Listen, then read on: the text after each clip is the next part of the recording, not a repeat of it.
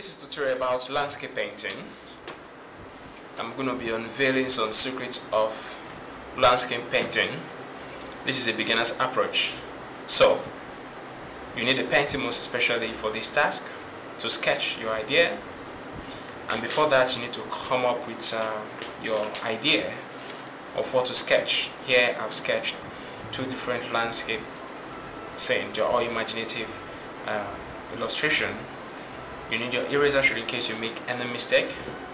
You need your cardboard where you're going to paint on or execute your painting.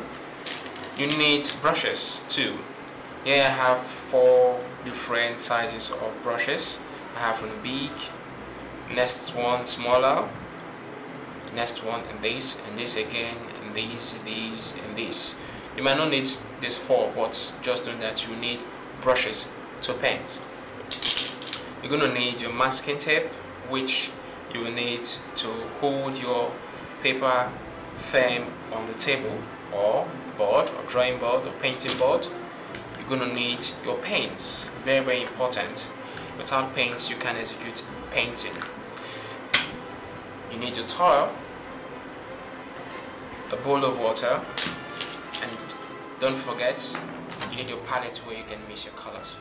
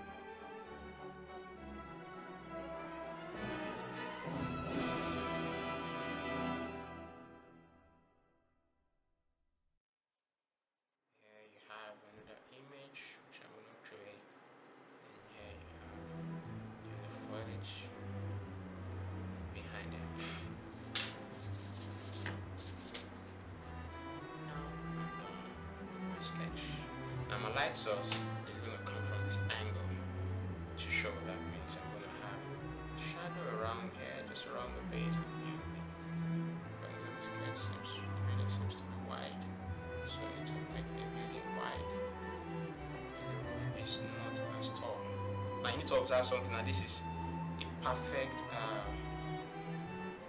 linear perspective.